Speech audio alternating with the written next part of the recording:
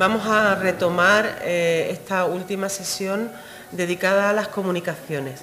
Me acompaña en la mesa María Jesús Pozas Pozas, que no es tampoco la primera vez que viene a Ceuta, nos acompañó también hace un año en el Congreso de Portugal. Ella es licenciada en Filosofía y Letras. doctora. Eh, ah, perdón, es que me han puesto aquí. Doctora en Filosofía y Letras en Historia Moderna y Contemporánea por la Universidad de Deusto. Eh, em, su tesis doctoral fue sobre la población de Santander en el siglo XVIII. Ha sido profesora de la Facultad de Filosofía y Letras y de Ciencias Sociales y Humanas de la Universidad de Deusto, adscrita al Departamento de Historia Moderna y Contemporánea. Eh, trabajando en Historia Moderna, Metodología General de la Historia y Historiografía, eh, Historia del Pensamiento Filosófico desde la Antigüedad a la época contemporánea y hoy nos va a traer una mm, comunicación muy interesante para nosotros, puesto que nos va a hablar de dos obispos, de Antonio Ibáñez y de Tomás Crespo, que ella conoce por sus raíces. Exactamente, exactamente. Eh, sin más, le paso la palabra. Buenas tardes. Eh, quiero comenzar eh, felicitando al comité organizador de estas jornadas y dar las gracias a la directora del Instituto de Estudios Ceutis por presidir esta mesa y coordinar eh, los trabajos. Y a ustedes también agradecerles eh, su interés eh, por este tema que voy mm, a exponer.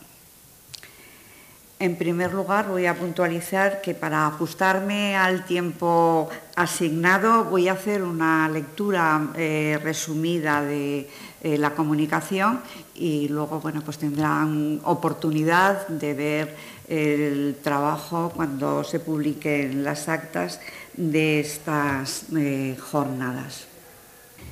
El objetivo de este trabajo es eh, contribuir al conocimiento de las diferentes experiencias de vida de los obispos, don Antonio Ibáñez de la Riberrera, que fue obispo de Ceuta mm, desde 1685 a 1687 y de don Tomás Crespo de Agüero de 1721 a 1727. Voy a analizar la labor que realizaron al frente de la Mitra de, de Ceuta, utilizando la metodología de la historia comparada y de las nuevas teorías de la biografía histórica propuesta por la Red Europea sobre Teoría y Práctica de la Biografía, que son las últimas eh, aportaciones sobre la biografía histórica. Además, he tomado como modelo las vidas paralelas del historiador griego Plutarco, que se siguen imitando actualmente desde unos planteamientos que resultan atractivos y diríamos que también hasta apasionantes, para comparar eh, las coincidencias y los aspectos contrarios de estos dos eh, prelados. Por otra parte, incidiré en el carácter moral de cada uno de ellos sin dejar de lado el marco político, militar, eh, religioso, social, económico y de las mentalidades colectivas, para ofrecer de este modo pues, una visión global de eh, la sociedad compleja y atípica como era la de Ceuta, debido precisamente mm, por ser una plaza militar y además por la presencia del presidio. Se trata de un trabajo de síntesis y solo pretendo aportar un poco de luz sobre estos ilustres eh, prelados que tanta influencia tuvieron en el obispado de Ceuta y después como arzobispos de Zaragoza, de modo eh, que se, merecían se merecen un estudio en profundidad que, bueno, pues espero que los jóvenes historiadores eh, lo realicen algún día porque son verdaderamente unos personajes eh, fascinantes, pues para acercarnos más a la historia social del antiguo régimen. Para completar eh, su perfil biográfico, analizaré algunos de sus retratos que nos pueden servir como documentos históricos eh, para reconstruir su perfil eh, psicológico, siguiendo la metodología del historiador inglés Peter Burke, que pone de relieve, y cito textualmente, cómo las imágenes no son reflejos objetivos de un tiempo y un espacio, sino parte del contexto social que las produjeron. Es muy interesante la incorporación de la imagen eh, a la historia y bueno, pues realmente es bastante novedoso. Entre Ibáñez eh, de la Riva Herrera y Crespo de Agüero existieron similitudes en cuanto a su dedicación episcopal, pero también diferencias, porque les tocó vivir distintos procesos eh, históricos. A uno, la contrarreforma y la puesta en práctica de las disposiciones del Concilio de Trento, y al otro, el reformismo borbónico. Ambos eran familiares del Estado noble, descendían del poderoso linaje de los agüeros, uno de los más importantes en la Edad Media en la comarca de Trasmiera, en Cantabria, sin embargo, la posición social y económica de los Ibáñez de la Riberrera era más elevada que la de los Crespos de Agüero, aunque contaban, eh, que, contaban con escasos recursos económicos, aunque estaban bien emparentados. Compartieron una serie de valores y sentimientos, gozaban de una inteligencia clarísima, se preocuparon por los más necesitados y practicaron una notable solidaridad eh, familiar. He seguido con vivo interés las biografías históricas de los dos obispos desde sus orígenes familiares, formación religiosa y académica.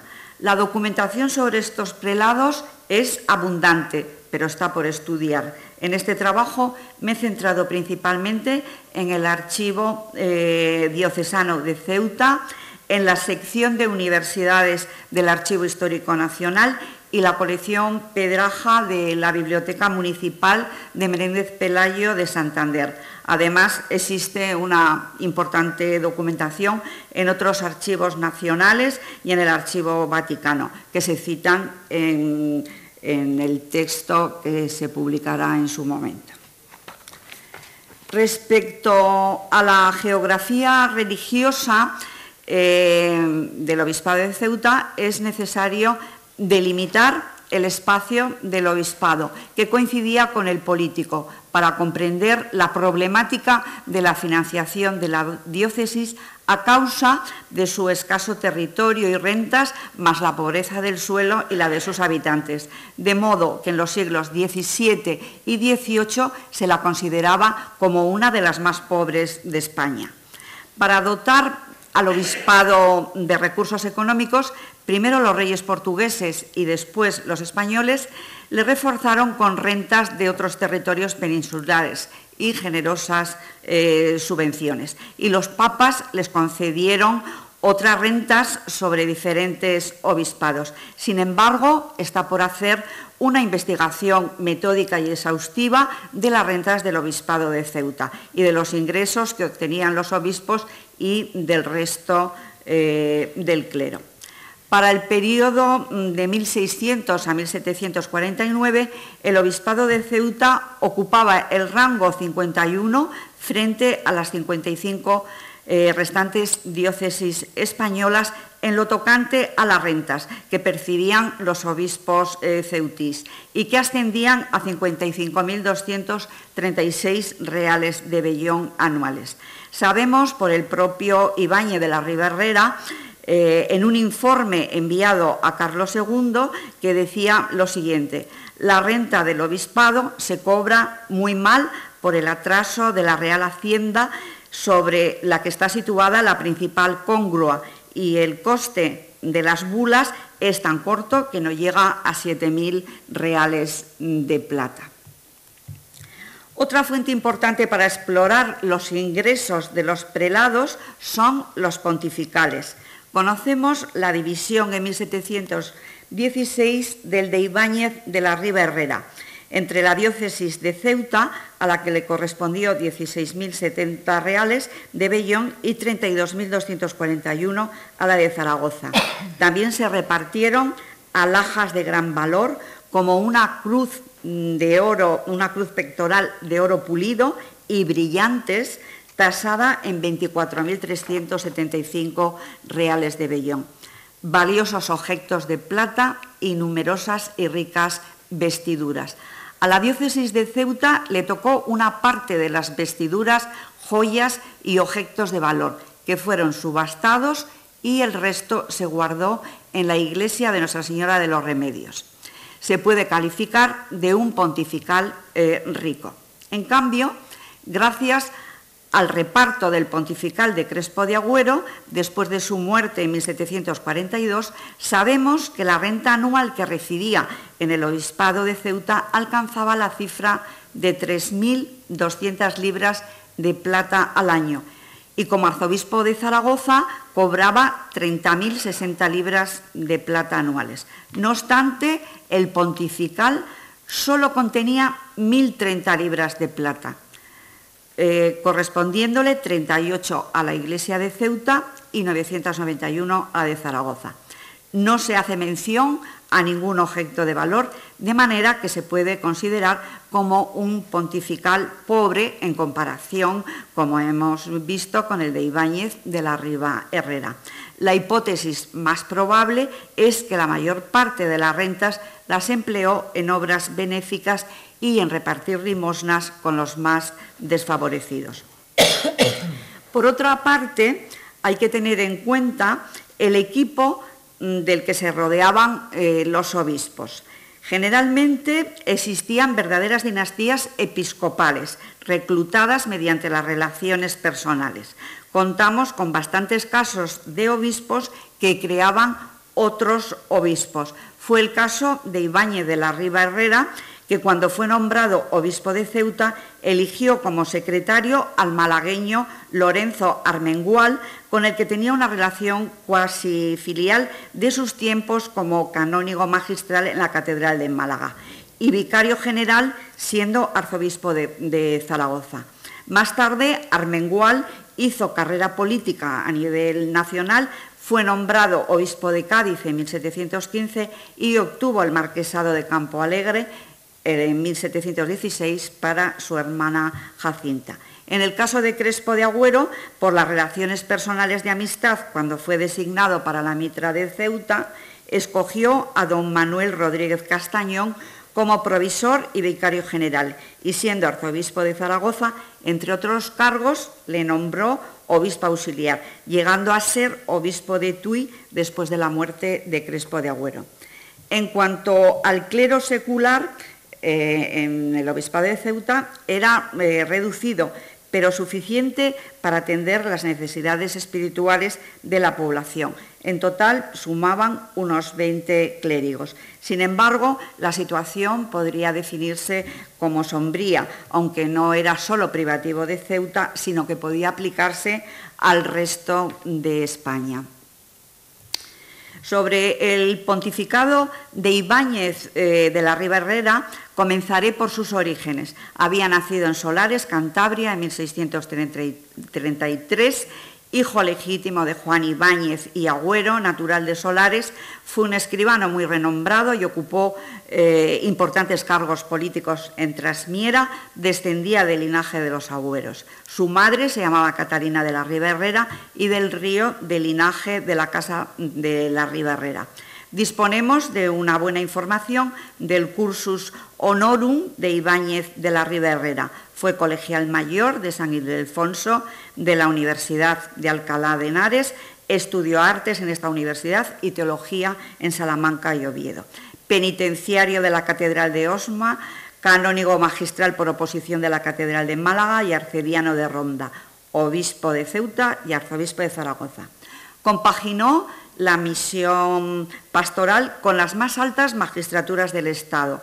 Presidió el Consejo de Castilla entre 1690 a 1692. Por dos veces eh, fue virrey de Aragón, de 1693 al 96 y de 1703 a 1705. En el segundo mandato se mantuvo fiel a la causa de Felipe V durante la Guerra de Sucesión, lo que le granjeó enemistades en Aragón. Y por esta adhesión a Felipe V fue nombrado inquisidor general y en 1710 eh, fue promovido eh, al arzobispado de Toledo. Murió en Madrid ese mismo año cuando iba a tomar posesión de la mitra toledana y está enterrado en la capilla de Santiago el Mayor del Aseo de Zaragoza.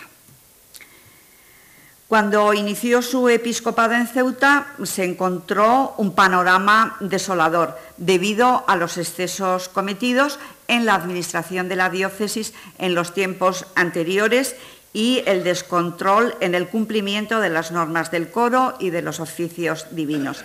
Así, en un informe que había enviado Felipe IV a Roma durante la sede vacante, se quejaba del cabildo y manifestaba que todos son gentes sin letras ni modos y algunos de ellos poco reformados en vida y costumbres.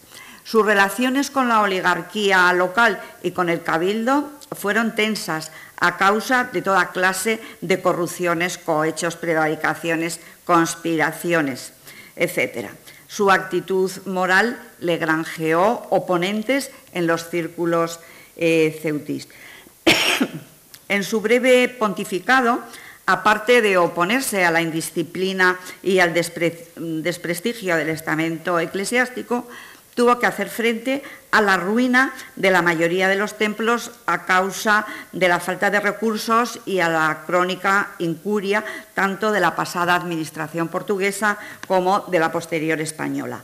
Comenzó la construcción de la nueva catedral el mismo año de tomar posesión de la mitra pero si algo hay que destacar fue la reforma de la disciplina eclesiástica mediante la formación de unas reglas muy precisas para el coro. En total fueron 29 reglas que se analizarán en la comunicación.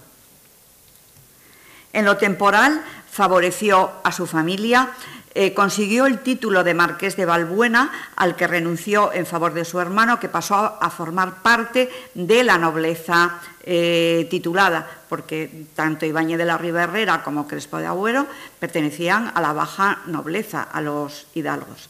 Mandó eh, construir el Palacio de Valbuena en Solares y una capilla adosada al palacio, bajo la vocación de San Juan Bautista, dotándola de ricas imágenes, alhajas y reliquias. Hoy el Palacio de Valbuena, bueno, pues es un hotel, se ha reconvertido en un hotel.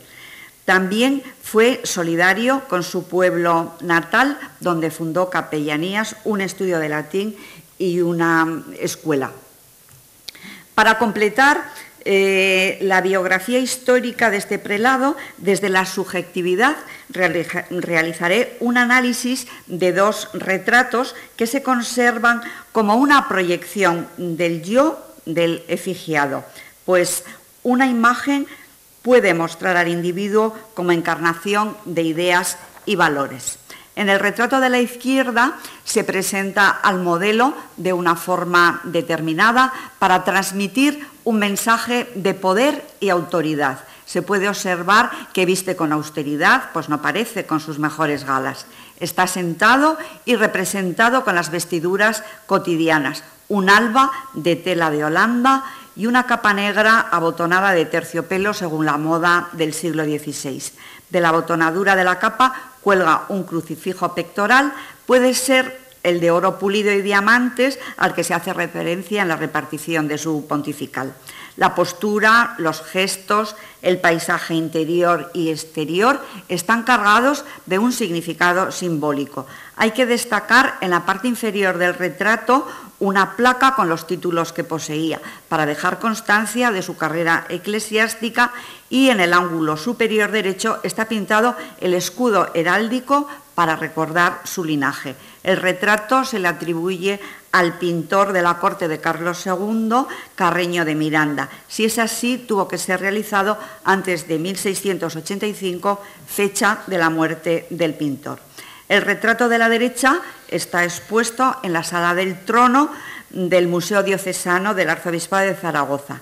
Se diferencia del anterior en el, en el que el vestido es más lujoso y encima de sus títulos aparece el escudo arzobispal. En este retrato cambia de postura, está efigiado de cuerpo entero y mirando de frente al espectador. Transmite un tono de severidad contenida, grave, majestuosa y distante. En cuanto al obispo eh, Crespo de Agüero, nació en 1668 en el pequeño pueblo de Rucandio, perteneciente a Trasmiera, en Cantabria. Sus padres fueron don Juan Crespo del Hoyo y doña Francisca de Agüero y Sierra, ambos del Estado Noble. A los 10 años se quedó huérfano de padre y emigró a Gijón, posiblemente por factores de equilibrio intrafamiliar para reducir gastos y gracias a la protección material e inmaterial de un sacerdote de la familia, don García de Agüero, estudió gramática en el Colegio del Salvador de los Jesuitas de Oviedo, teología en la Universidad de esta misma ciudad, después pasó a la Universidad de Alcalá de Henares, fue profesor de metafísica, regentó la Cátedra de Teología de Santo Tomás y colegial de San Ildefonso. Opositó a la magistralía de Antequera, ganó por oposición la canonjía de la Catedral de Cádiz y la electoral de la Catedral de Sevilla. En 1721 tomó posesión de la mitra de Ceuta y en 1727 fue eh, promovido al arzobispo de Zaragoza hasta su muerte en 1742. Eh, formó parte también del Consejo de Su Majestad. Vivió el largo asedio de Muley Ismail, la llegada de 16.000 soldados y desterrados para levantar el cerco y la peste de 1721. Durante el asedio, muchos edificios religiosos fueron destruidos y tuvo que reconstruirlos, empezando por la catedral. No solo le había correspondido una de las diócesis más pobres de España, sino que se enfrentaba a una gran labor material y espiritual. En 1726 el Cabildo volvió a la catedral después de 54 años de peregrinaje por distintas iglesias de la ciudad. También llevó a cabo la reparación de otros templos, como el de Nuestra Señora de África, de los Remedios, del Valle, puso la primera piedra del convento de los Trinitarios Descalzos, además concluyó la Capilla Real de Santiago, el convento de San Francisco y reedificó la ermita de San Antonio. Destacaré su labor social tanto en Ceuta como siendo arzobispo de Zaragoza, donde fundó el colegio de los padres escolapios, apoyó la enseñanza, además reconstruyó y fundó varias iglesias y colegios. Siguió en Ceuta con la reforma del coro, tuvo que enfrentarse con un clero indisciplinado y muy difícil de gobernar. Y, y parafraseando al historiador Rafael Olaechea, se podría asegurar que aún las fuerzas de un ángel serían insuficientes para gobernar la iglesia de Ceuta.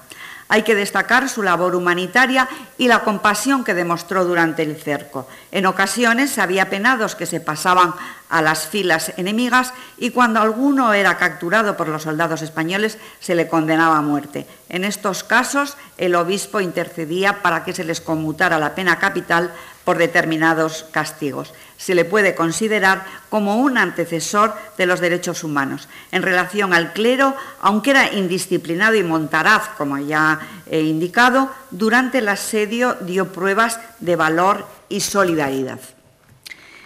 Sobre el perfil psicológico de Crespo de Agüero, utilizaré el mismo método que con Ibáñez de la Riva Herrera, analizando dos de sus retratos. El de la izquierda se encuentra en el presbiterio de la iglesia parroquial de Santa María Magdalena de Rucandio, su pueblo natal, que mandó edificar en 1740. El retrato preside las ceremonias religiosas y permanece como recuerdo de su generosidad para todas las generaciones. El retrato es sobrio como su vida, la mirada inteligente y viva, desprende serenidad, se intuye un carácter reflexivo y al mismo tiempo transmite un profundo sentido de majestad episcopal, gravedad y mesura, viste con moderación y modestia. En la parte superior derecha Está pintado el escudo familiar con el deseo de ilustrar sus apellidos, pero este detalle no se debe de tomar como prepotencia o vanidad, sino que en el caso de los hidalgos era normal presumir de sus blasones. En el de la derecha está en la sala del trono del Museo de Zaragoza, diocesano de Zaragoza, es más imponente, de cuerpo entero, con las ricas vestiduras arzobispales, contiene más detalles eh, que el anterior, desde el paisaje interior al exterior convencional y alegórico, la postura está estudiada y muestra cercanía a quienes le contemplan. Finalmente, pasaré a exponer las conclusiones. La geopolítica y la, pobreza de Ceuta fueron una constante a lo largo de su historia. Era considerada por los eclesiásticos una diócesis poco atractiva, pero se convertía en un medio de promoción para los obispos. Los episcopados por lo general eran cortos y la mayoría de los prelados se les compensaba con altos cargos en las diócesis españolas, aunque nunca olvidaban su primera diócesis. Intentaron reformar el clero y la sociedad ceutí con humildad, pero también con energía. Rehabilitaron los edificios religiosos a causa del abandono y las guerras. Supieron emplear la diplomacia y los buenos oficios para llevar a cabo eh, sus empresas. Eh, tuvieron que soportar unas tensas relaciones con la oligarquía local y con el clero, especialmente con el cabildo. Ibáñez de la Riberrera se encuadra en la mentalidad barroca del siglo XVII y ejerció el poder espiritual y temporal con mano de hierro y guante de seda. A Crespo de Agüero se le puede incluir en la corriente moderada prereformista de la primera mitad del siglo XVIII, siempre con matices y reservas. Destacó por su enorme obra social realizada desde la humildad y la caridad con los más necesitados y se distinguió por su piedad. Por último, fueron unos eh, prelados que dejaron una profunda huella en el obispado de Ceuta, en el arzobispado de Zaragoza y en la historia de la Iglesia. Para terminar, quiero agradecer a don José Luis Gómez Barceló, archivero diocesano de Ceuta, su valiosa ayuda y colaboración para realizar este eh, trabajo. Eh, muchas gracias por su atención.